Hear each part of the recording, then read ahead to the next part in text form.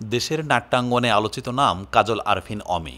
Bachelor point ধারাবাহিক দিয়ে দর্শকের কাছে জনপ্রিয় হয়ে উঠেছেন তিনি। শুধু ব্যাচেলর পয়েন্টে নয়, নির্মাণ করেছেন একাধিক একক নাটক, ড্রামা সিরিজ ও ওয়েব সিরিজ। এবার ঈদে তিনি নির্মাণ করেছেন শেষমেশ নামের একটি টেলিফিল্ম। এটি মুক্তির পর থেকেই দর্শক মহলে বেশ সাড়া ফেলেছে।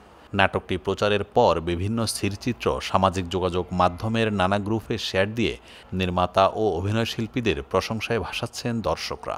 বিশেষ করে মনিরা মিঠু ও পলাশের অভিনয়ে মুগ্ধ দর্শক।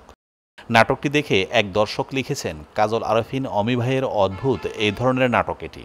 নাটকে মায়ের প্রতি সন্তানের এবং সন্তানের প্রতি মায়ের অকৃত্রিম অভিরাম ভালোবাসা ছিল দৃষ্টিনন্দন এবং অশ্রুভরা।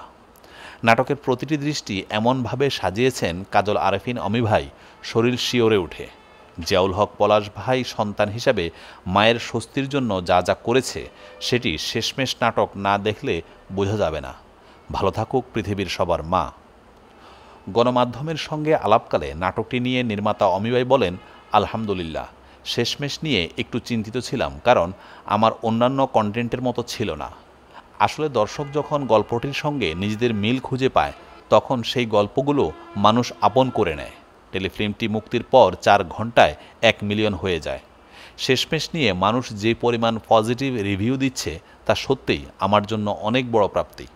দর্শক যখন এই ধরনের গল্প পছন্দ করে, তখন আসলে আমি আরও অনেক ধরনের গল্প বলার সাহস পাই। এই নাটকের বিভিন্ন চরিত্রে অভিনয় করেছেন জিয়াউল হক পলাশ, পারসা ইভানা, মনিরা মিঠু চাষি আলম, শিমুল শর্মা, পাভেল, সুমন পাটোয়ারি, ইশরাত জাহিন, তানজিম অনেক, সাদিয়া তানজিন।